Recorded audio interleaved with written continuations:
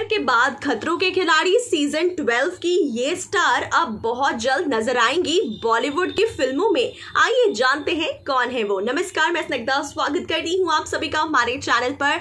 आपको बता दूँ गाइस लगातार धर्मा प्रोडक्शन से एक से बढ़कर एक टीवी के सितारे जुड़ रहे हैं रियलिटी शोज़ के सितारे जुड़ रहे हैं। जहाँ रिसेंटली करण जौहर के धर्मा प्रोडक्शन से जन्नत जुबैर का नाम जुड़ चुका है खतरों के खिलाड़ी की कंटेस्टेंट के तौर पर। तो वहीं अब खतरों के खिलाड़ी की एक और सुपरस्टार यानी एक और कॉन्टेस्टेंट अब धर्मा प्रोडक्शन का हिस्सा बन चुकी हैं, और वो हैं one and only Shruti Jha. Shruti Jha के हम एडवेंचरस अवतार को ऑलरेडी खतरों के खिलाड़ी में एंजॉय तो कर ही रहे हैं, लेकिन अब बड़े पर्दे पर हम श्रुति झा को एंजॉय करेंगे उनके ज़बरदस्त एक्टिंग स्किल्स के साथ। वैसे तो हमने उनके टीवी शोज़ में एंजॉय किया ही है, लेकिन इन फ़िल्म करण जौहर की फ़िल्मों में नज़र आने वाली है अब श्रुति झा।